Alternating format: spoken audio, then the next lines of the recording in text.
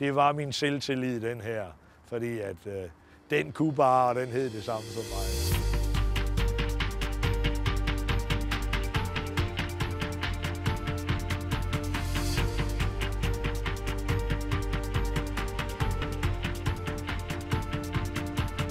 Havnen er stedet, hvor man gik hen og dyrkede sin udlængsel kigget på skiben, ligesom Osvald Helmut, den der havn, der han har lavet. Trækker med sin cykel og kigger, wow, den kommer lige fra Argentina, eller nej, den er fra Spanien. Her kunne man også være, øh, her kunne man også være heldig at se en nære, for eksempel. Sådan en havde man jo aldrig set. Så kunne der være sådan en flådebesøg, og simpelthen øh, hele byen var fyldt med voksne mænd med sådan nogle runde øh, matroshatte og matrostøj og alting der. Og det var jo havnen, der, det var havnen, der gav alt det der. Vi arbejdede tit hernede som daglejer, og når vi kom herop, så var det simpelthen bare et inferno af lastbiler, der kørte frem og tilbage. Så sådan nogle rør, der gik ned med sådan noget sække øh, om inderne, der øh, pøsede korn ned i dem, og så kørte de igen. Det var sådan noget meget øh, uh, sådan turbulent hele tiden. Ved Korn- og Foderstofkompaniet og sådan noget, der kunne du ikke få job, hvis du var alt for fordrukken.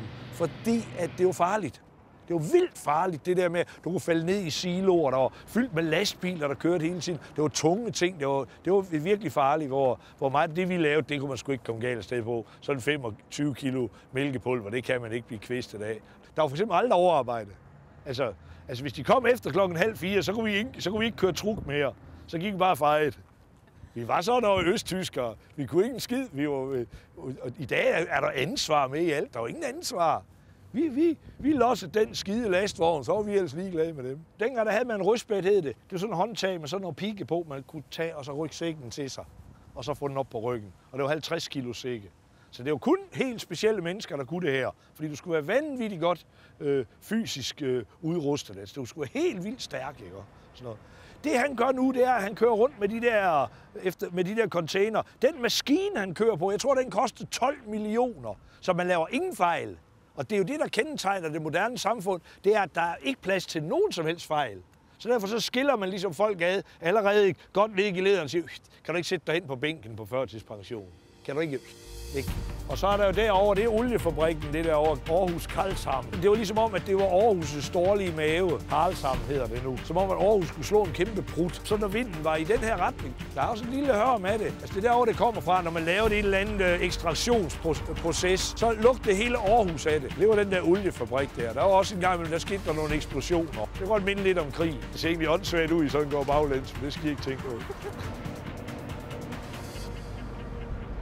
Aarhus Havn har forandret sig meget på den måde, at da jeg er ung her i Aarhus, og vi ansøger om at få lov til at komme ned, der stod en masse af parkhus og ned og sådan noget, så spurgte vi ikke må lave sådan nogle musiksteder. Det var så lidt punk, og vi larmede, så det var fandme et alle tider steder at være. Der var ikke nogen, man generede med det. Der var havnedirektøren simpelthen.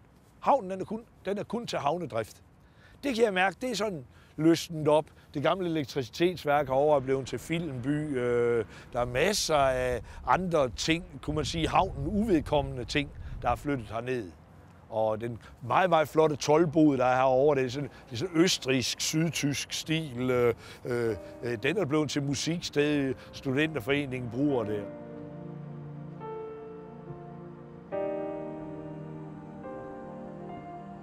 Havnen har det samme som at sidde og kigge ind i et bål.